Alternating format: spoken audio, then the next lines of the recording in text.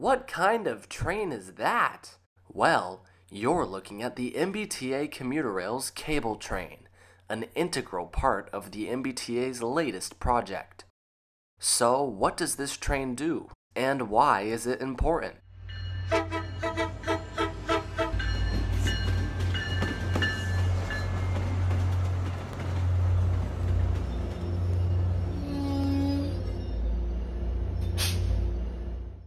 With the modern age of railroading has come more modern equipment, philosophies, and ways of, well, railroading. In this episode of Boston Railroading Explained, we will be focusing on the importance of something we all know and love positive train control. Positive Train Control, or PTC, is a computer system used to prevent collisions or overspeeding on the railroad. This new and important technology exists as a precautionary tale to many rail incidents in the past, where one may have thought PTC could have prevented this. PTC's importance was emphasized by the U.S. Department of Transportation in 2008 when they passed the Rail Safety Improvement Act. This act required that all railroads in the country install positive train control as a safety measure to reduce accidents by December 31st of 2020. The MBTA beat this deadline by August of 2020, just in the nick of time. However, installing PTC across all lines was not an easy task, and in the time that they had, the MBTA had to install their PTC on telephone poles adjacent to the right of way, a much more cost efficient and quicker method. However, we all know what New England weather is like, and the MBTA does too. Weather up here means wind, and wind means fallen trees, and fallen trees means fallen telephone poles and wires and thus you must know that the MBTA's haphazardly installed telephone pole PTC system was doomed to fail. Yet they knew that, because now in 2023, the MBTA is installing their PTC cables underground, somewhere that will be unbothered by even the most heinous of New England weather. However, installing PTC cables underground is no easy task and it must be done in a precise and quick manner. So here's where the cable train comes in, and the part of the video where I yap on and on about how the train works. So let's set the clock back to the early morning of August 31st, 2023. Good morning, guys. It's Boston by Rails here. It's about 5:27 in the morning. I am up early and getting ready to embark on a journey to see the MBTA's cable train, a really elusive new train operation that I've really tried to see for a while. I'm really excited. We'll see how it goes, and I'll take you guys along in the adventure. The early morning drive up Route 2 was uneventful until my arrival in Littleton. Located just south of the King Street grade crossing is the siding where the cable train's Fitchburg line operations are based. At this siding is where the coils of fiber optic cable are stored and loaded onto the train. When I showed up, a group of about 50 track workers were meeting in a circle discussing the plans for the day. Now I saw this as a sign of good things to come but I would soon find out that today was loading day for the cable train. No going out onto the main line. The train would be staying put all day and reloading cables onto the flatbeds. Mission failed. So, fast forward about four weeks later, and I am out again, this time on a Saturday. Signs of colder weather are beginning to show themselves here in Boston and because of that, the cable train is trying to get as much work done as possible before the ground freezes. Today's quest brings us to Lincoln Station on the Fitchburg line. This unique station is one of few on the MBTA where only one side of the tracks has a platform. And look down there.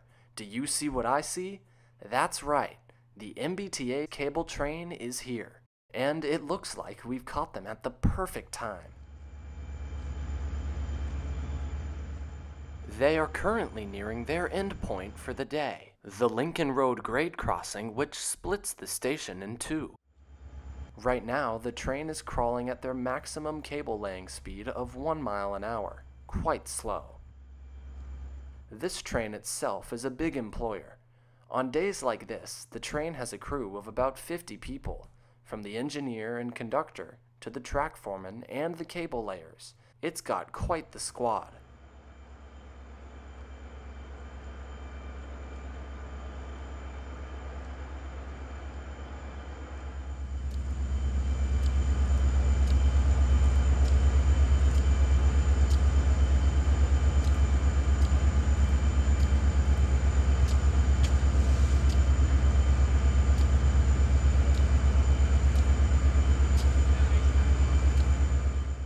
The train keeps creeping forward until finally it stops to readjust the cable coils. At this moment, the crew hops out to take a little stretch break.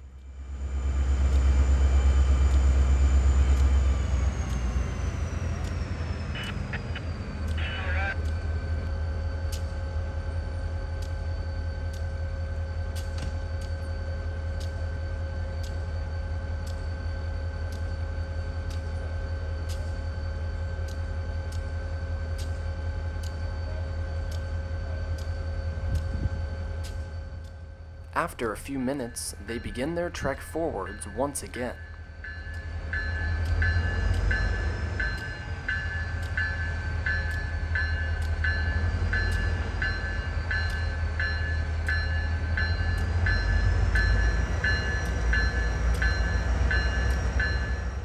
Our leading locomotive, PNLX 2107, is an MPI MP20 GP-3 a unique locomotive with the shell of a GP38-2. This locomotive has been on the leading end most every day for the cable train.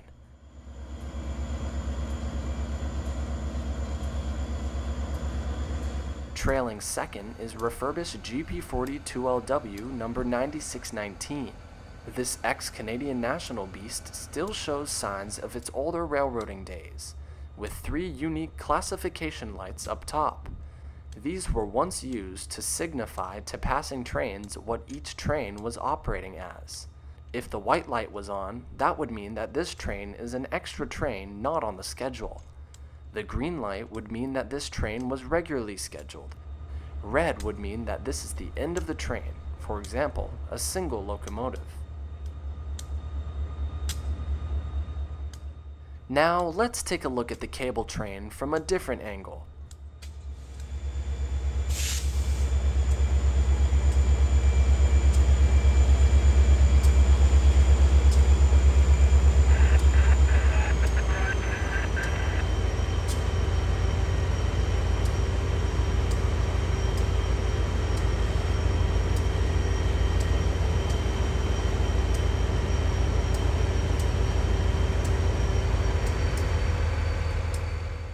Let me talk about the cable laying consist real quick. The first car we see is MPCX 201, a trench digging cable car. Today, this car is being used for feeding and laying the cables by the right of way, but it can also dig a trench to a depth of about 60 inches for the cables to go in.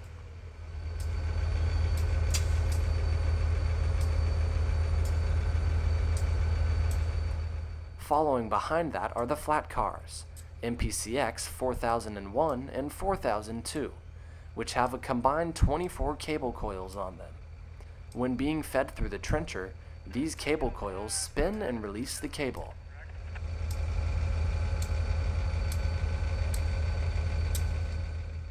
Finally, at the rear is PNLX 4043, an ex-Central Vermont Railway caboose, still sporting its old iconic logo. All of these pieces of equipment were delivered to the MBTA property this past summer.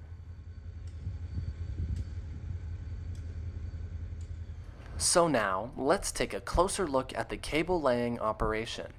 And for that, we must cross the tracks. I filmed these operations through a public parking lot but double checked with one of the track guys to make sure he was okay. Always do this while rail fanning.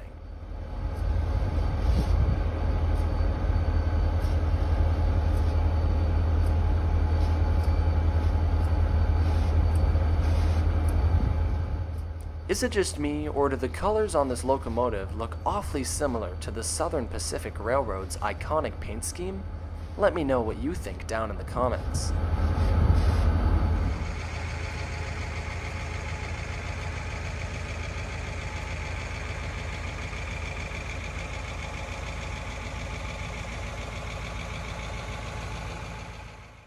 The train works at a walking pace, literally. Many workers walk along the train and guide the cables onto the ground. Now, I'm not quite sure why they aren't digging trenches on this day, but I'm sure they'll come back soon.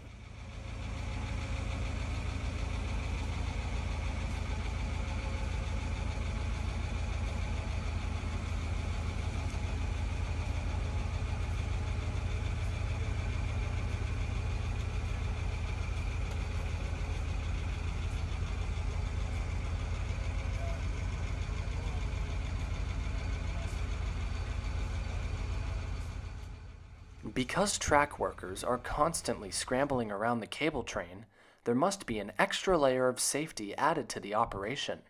Whenever another train wants to pass through the work limits, they must first ask for permission to enter the territory by way of the track foreman in charge. Speaking of which, train 1405 is about to do just this. Let's listen in.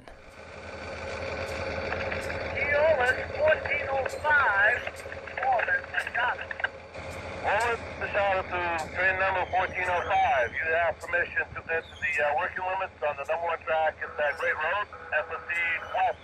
At time zero speed, over. Roger, um, TOS 1405 has permission through Foreman Machado's work area on the number one track headed west from Great Road at normal timetable speed, over. Roger. Thank you, Manny. Uh, 1405 out.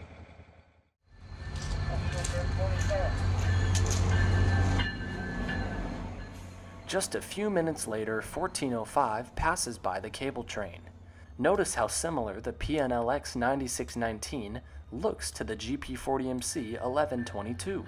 Well, that's because the 9619 and 1122 are both former Canadian National GP40 2LWs. It's a small world, isn't it?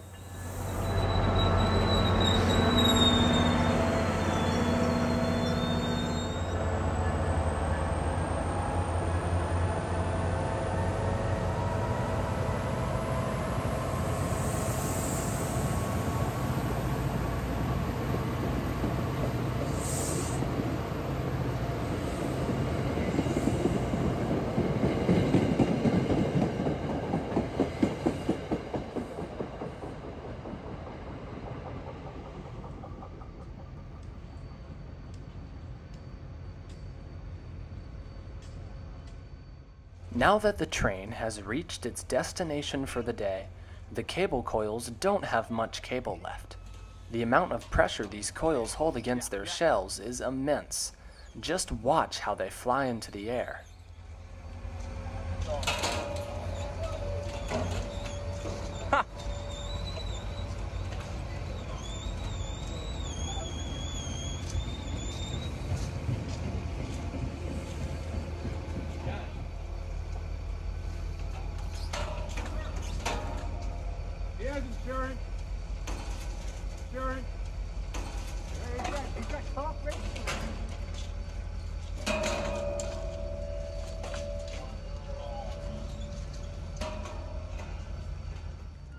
The cables now must have their ends snipped, so they all meet at the same point.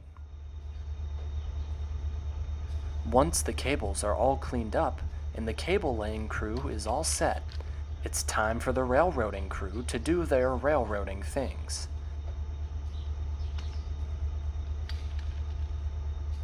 First, the cable train backs up just far enough to allow cars to flow back through the Lincoln Road crossing.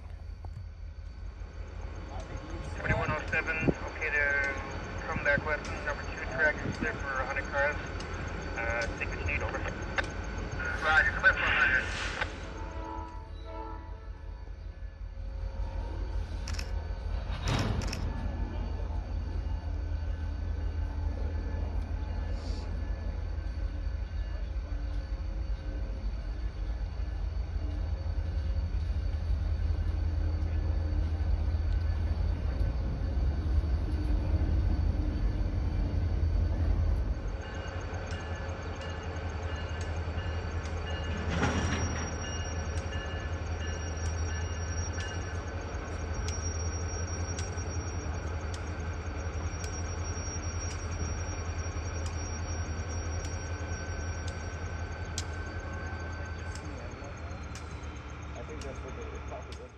This job requires hard work, and I can tell that the crew uses the caboose as their spot to unwind and take breaks. Check out all of those chips.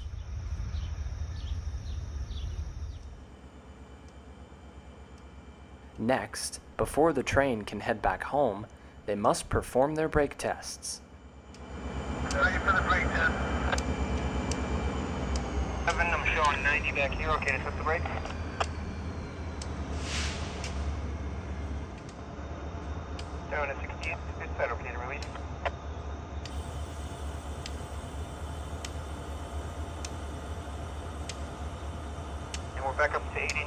Uh, give me one second just to touch base with West, and I'll get back to you.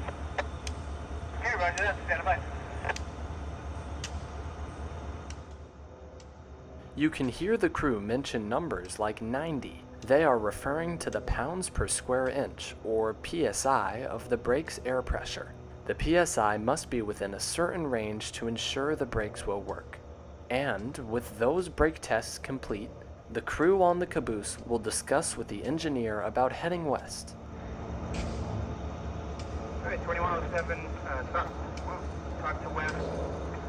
Aware of the move and the plan. Um, we have to wait for 1406 to go by, and then uh, we'll be on our way. So if you want, you can start heading west to Hills on the number two track, clear for 80 cars. Clear for 80. Backing up.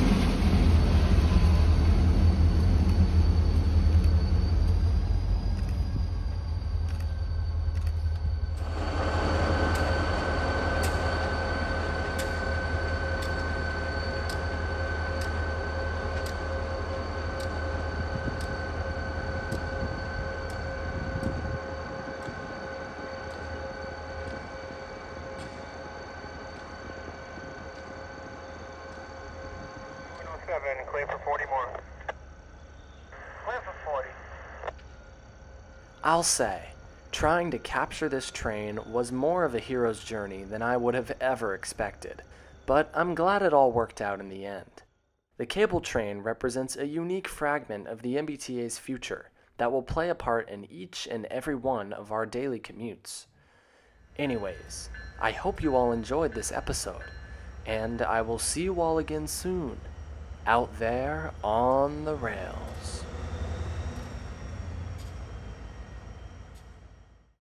This is a monumentous Boston by Rails occasion.